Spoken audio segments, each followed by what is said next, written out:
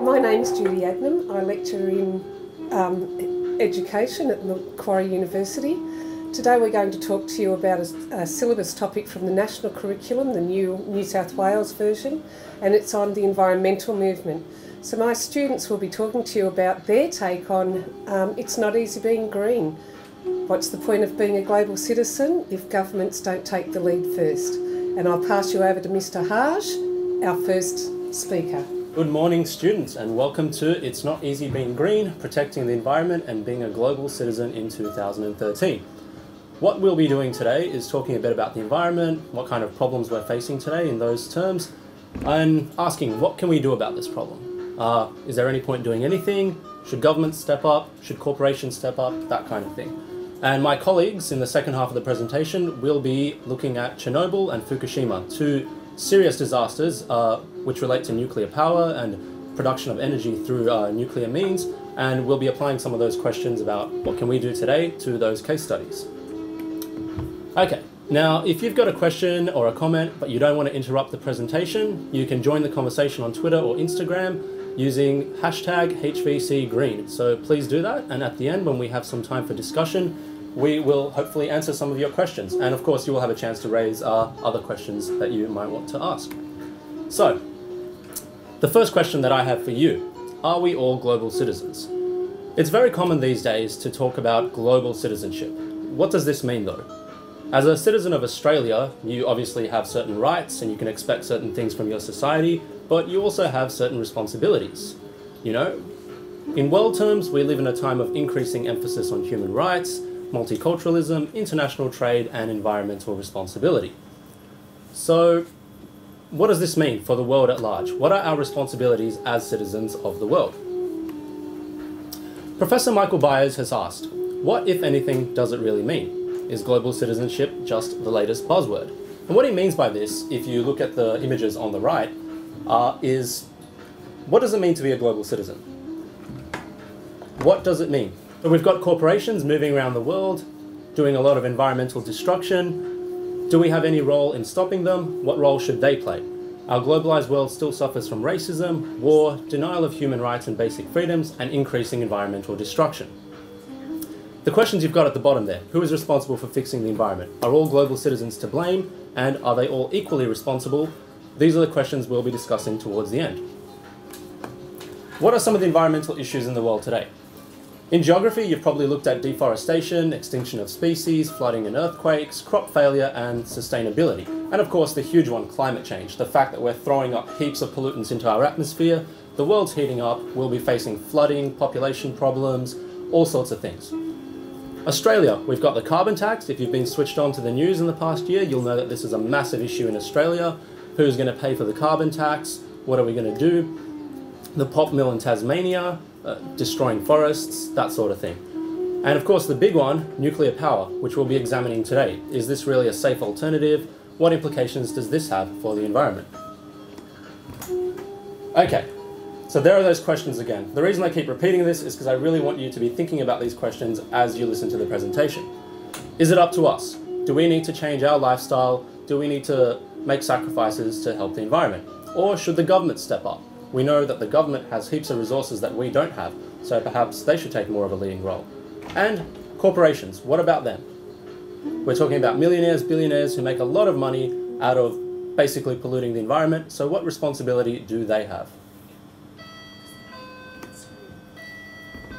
The first so-called solution, I guess, that has been, you know, commonly talked about and is always raised with people is individual responsibility. The idea that me, you, people like us, we need to change.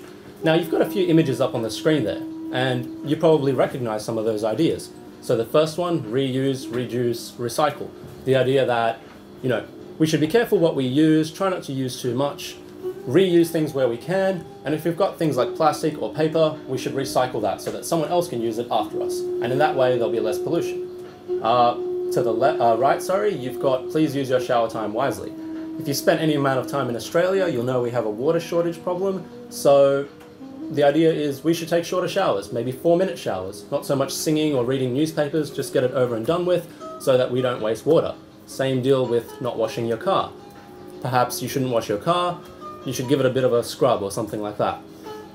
You see someone planting trees on the right, you might have done this in primary school or in geography on an excursion. You know, plant more trees. The forests are being cut down, so we need more trees. And of course, buy green. The idea that we should support companies, give to companies which are environmentally sustainable and which take care of the environment. Over time, these companies will become successful, drive the polluters out of business, and we'll have a great environment. So you're probably familiar with a whole range of these issues and these ideas. What are governments doing though? Well, firstly, we've got international treaties to reduce carbon emissions, the most famous which is the Kyoto Protocol of 2005. The idea is that the governments of the world get together, sign an agreement to say, you know, we've got to reduce how much carbon we're putting into the atmosphere, and over time we will start fixing the climate change problem. Emissions trading schemes like the European Union trading scheme, very similar. Companies receive pollution permits. So basically what happens is the government says you can pollute to this amount if you pay this amount of money. The idea is this will cut into the company's profits, so over time the companies will try to invest in renewable energy, uh, reduce the amount of pollution they emit. In Australia, we've got the carbon tax, and this is a really controversial issue. But basically, the way it works is that the polluters get taxed based on the amount that they pollute. Again, trying to encourage them to stop polluting to help our environment. And although it's not talked about quite so much anymore, there is a massive debate around switching to nuclear power. So the idea that instead of burning coal for our energy, we can use nuclear energy. And we'll be looking at, in the second half of this presentation, about whether this is really a safe option or not. I've got a few pictures up there just to give you a visual understanding of the different things that governments are doing and the different kinds of proposals. We've got the carbon tax up the top there. Uh, on the right, we've got the Kyoto Protocol with a picture of all the different countries that have signed it. And at the bottom, if you watch The Simpsons, you'll recognize that as the Springfield nuclear power plant. And you'll know that Mr. Burns is a big advocate of nuclear power, and he would be because he makes a lot of money out of it. So, are these methods, individual responsibility, uh, government intervention, are they actually working? I'd like to argue, but you don't have to agree with me, that they're not. And part of the reason is that there is a very close connection between the corporate polluter, that is the industries that pollute, and government. Industrial production and car use account for more than 80% of the pollution caused in our world. They are the absolute leading causes of pollution. However, governments refuse to invest in public transport and renewable energy, and they usually talk about costs. You know, this is too much of a cost to the national economy. And of course, the question of what is a cost and what costs too much comes down to what you're trying to achieve and what your interests are. And we know that the big polluters have a lot of political influence. The energy companies, the auto industry, these people have a lot of sway over our governments. Trading schemes have been criticized because they basically trade in pollution. So what they do is say, look, if you want to pollute, you can pay for it. But really, that just accepts that if a company can make money from polluting, they will pay a small fee and continue doing that. So it's not really helpful to our environment. And of course, the big controversy over the carbon tax, if you've been listening to Tony Abbott and Julia Gillard duke it out over the past year or so, is that it passes the cost onto ordinary consumers through higher prices. Basically, how that works is you got a tax on the big polluters, but you've got no way to ensure that they won't increase their prices to make sure that they make that money back. So what we get is increased energy bills, gas bills, and of course increased cost for things like fuel and food. So, you know, that, affect, that affects ordinary people. We end up paying for the environmental destruction that the companies are causing. And of course, with nuclear power, a lot of scientists have argued that it's not necessarily more green. To enrich the uranium that you need to use to produce nuclear energy, you need to burn almost as many fossil fuels as you would using coal. Uh, there's always the risk of nuclear meltdown, and we'll hear about that when we look at Chernobyl and Fukushima. And of course, governments have a whole history of using nuclear power to produce nuclear weapons, and that's something that no one, uh, no one would like to see happening. The image I've got up there is just to give you a sense of just how polluting corporations and industry can be nothing that you or I do in our day-to-day lives, in you know, heating our homes, driving our car, could possibly compare to the amount of pollution that is being spewed there. And obviously, we do not necessarily benefit from that pollution that's being spewed. We aren't the ones raking in the millions and billions. So, the question is, why does the government keep expecting individual consumers to make sacrifices while it refuses to invest in a sustainable future and protects the interests of the major polluters? I'm not going to answer that, but perhaps at the end with the discussion or on Twitter or Instagram, you can pose some of those questions, pose some of those answers as well. And hopefully we'll get back to you. So, what conclusion can we draw uh, from all of this? I guess it is pretty demoralizing. It feels like almost there's nothing we can do about all of this. Should we bother? Why should we do anything? You know, lifestyle changes like wearing different clothes, buying green, uh, not showering as long as we do, these things seem to have little effect if industry is allowed to keep polluting. And of course, like I've already talked about in the carbon tax, the changes that this requires place the burden on us, ordinary people, rather than the biggest polluters. Another thing which I haven't mentioned is that it also asks us to act where we're weakest. Of course, we can buy green, we can reduce our personal consumption, and that's fine. But how does that help us connect with our fellow human beings in a in a united, collective way to actually change uh, the situation that we have. It doesn't. It asks us to act as isolated individuals going to the shopping market or in our own homes. Um, and I would say that all these measures are inadequate. Reversing climate change, which is the big problem we're facing, would require massive social and political changes, not something uh, as simple as just buying something different when you go down to the shops. And I like to put the idea out there of environmental activism, I won't time on this, but environmental activism is basically the idea that we need to get together and act in a collective, united way to influence governments and corporations to be more sustainable and to be more environmentally friendly. At the bottom there, you've got a picture of the of a protest, I guess, against the Tasmanian pulp mill, which is a very controversial project in Tasmania, a wood processing plant, which will obviously cause a lot of uh, deforestation and destruction to forests and that sort of thing, and people are standing up uh, against this. On the right, we have a much older picture from an anti-nuclear rally in the 60s, um, basically against uranium, against nuclear weapons, against uh, the use of nuclear energy. And we'll see why this kind of thing is really important in a moment. And up top, we've got my favorite example of environmental activism, which is the BLF Green Bans. So the BLF is the Builders Labourers Federation, or was rather. It got uh, deregistered by the government in the 1980s. But what they used to do Basically, they were a trade union which covered construction workers, and they refused to build on any site which they thought was not environmentally friendly or would cause uh, environmental destruction. And a large reason why the area of Sydney known as the Rocks, which is uh, near the harbour, is so beautiful today and has so many heritage sites today is because the BLF refused to let their workers build on these sites when companies wanted to destroy them to put up uh, big offices and high-rise apartments and that sort of thing. So I'll just leave it with uh, leave it at that, and I'll pass to my colleague, Miss Anderson, who'll talk to you about Chernobyl. Good morning, class. My name is Miss Anderson. Today I'm going to be talking to you about the Chernobyl nuclear accident that occurred on April 26, 1986, in reactor number four. It occurred in the Ukraine, which was part of the USSR Russia at the time, and occurred because there was a flaw in the reactor design and some operator error.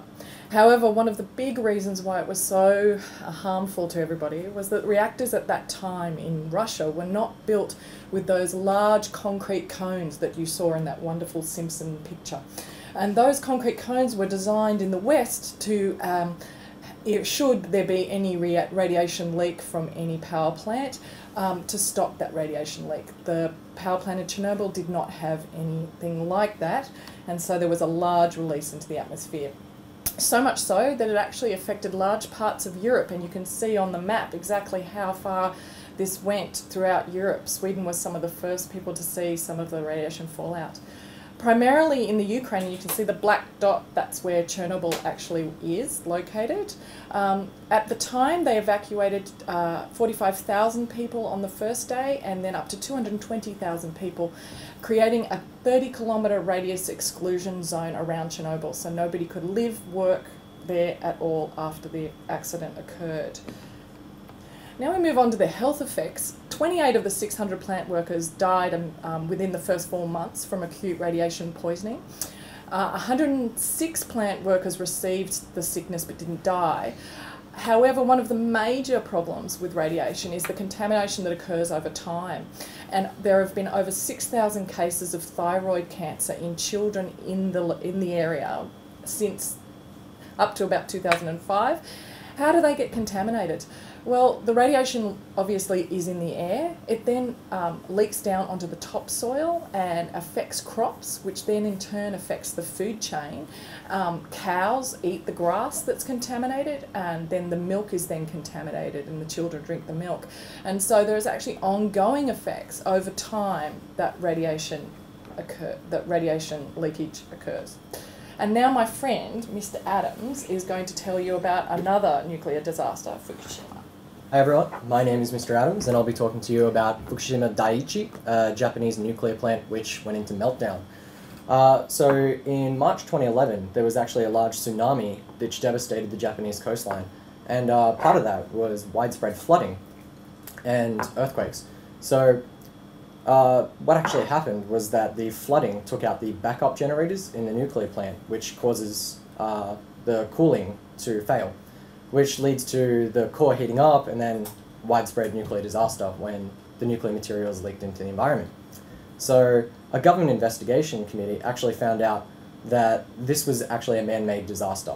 So it, it brings up issues about whether any environmental disaster can be truly natural uh, because governments are basically responsible for uh, ensuring that there's no serious safety flaws in these nuclear plants. And if they fail to do that, then really to what extent can we say that it's a truly natural disaster? Uh, another example would be earthquakes and stuff in uh, the US, where governments cut costs by refusing to earthquake-proof their buildings.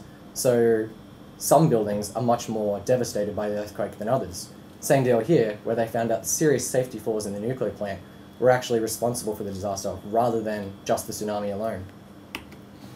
Uh, luckily for the Japanese, uh, the disaster was not as bad as it could have been. It's the only level 7 nuclear event since Chernobyl, but luckily theirs was actually encased in concrete, unlike the plant in the Ukraine, which meant that a lot of the radiation could be contained. Uh, the predicted deaths from the event in the long term are low to none. However, there is an increased chance of thyroid cancers and other problems in infants. Uh, and another thing is that very recently, in the last month actually, they've found out that tons and tons of radioactive water is currently leaking into uh, the ocean there. So the problem is actually ongoing. Uh, we have to question government responses in these kinds of events. And we have to say that it was found fairly wanting in this case.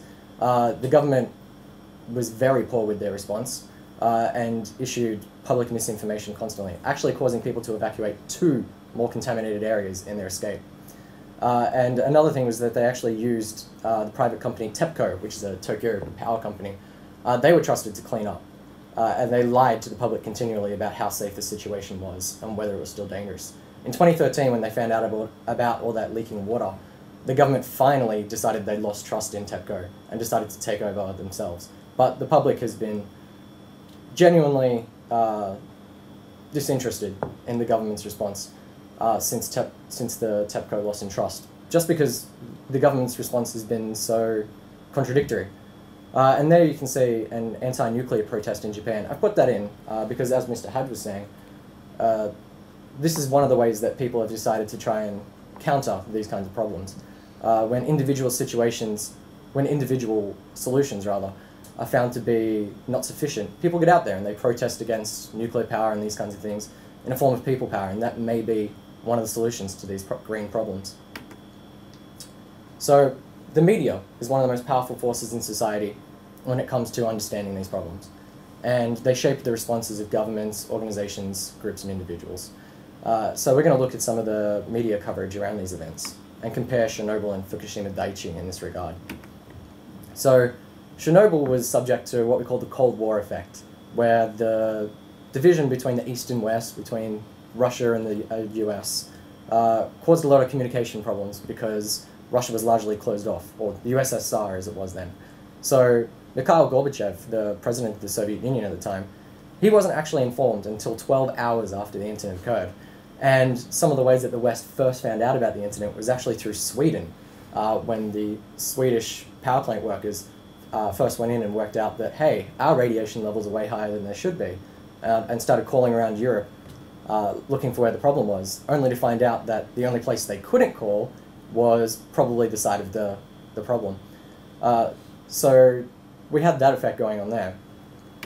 Uh, whereas the media in Fukushima were much more involved uh, because the internet exists by now. We have 24 hour news cycle. People are much more, uh, well, hopefully, much more informed and able to respond immediately through Twitter and these kinds of things. So we have a few social media responses uh, that occurred during the Fukushima event and in the aftermath. So we can see here we have some reports about the 300 tons of radioactive water entering the Pacific Ocean uh, every single day.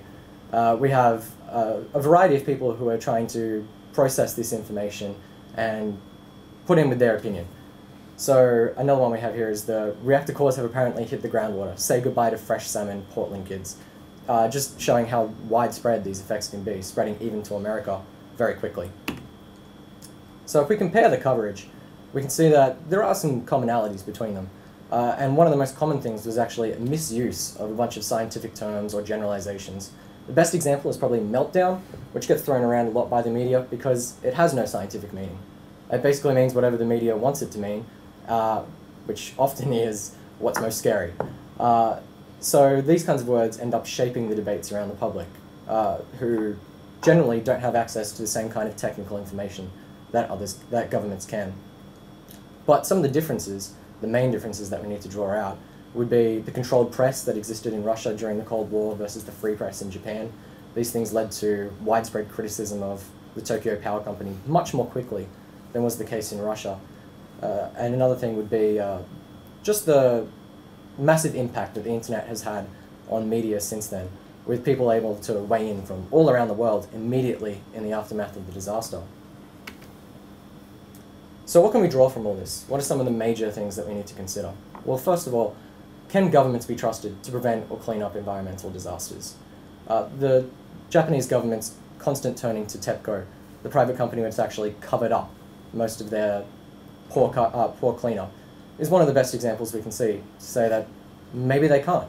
Maybe the people need to do something about this themselves. But what should that solution be? Can we as individuals actually do anything about the environment or disasters? I'm not going to answer that question. I think this is something that should be discussed in the classroom.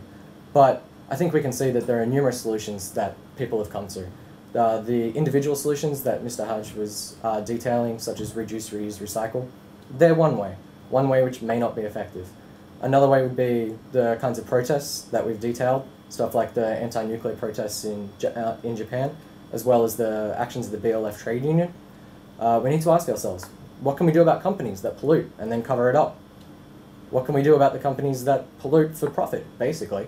And what is the role of the media in all this? Sometimes they act to inform us as individuals, sometimes they aid in misinformation. These are the kinds of questions that need to be talked about by students in the classroom in engaging with the world around them and becoming active global citizens. So I encourage everyone to get on Twitter or Instagram or to discuss this in their classrooms and talk about these kinds of issues because they are central to the survival of humans and society. So if you're interested in issues such as this, or if you want to learn more, I highly encourage uh, study at the tertiary level. Uh, you can look more in our pamphlets, there's a website there, uh, and go on and find out how you can become involved as an active citizen and fight against these kinds of things. Thank you. I'd like to thank my students who will be your teachers of the future. They start teaching next year. Um, they're in their final year of study at Macquarie University, and as you can see, they've put a lot of thought into the whole environment movement through their study in the teacher education program. So thank you very much, students, and thank you, and enjoy the discussion back in class.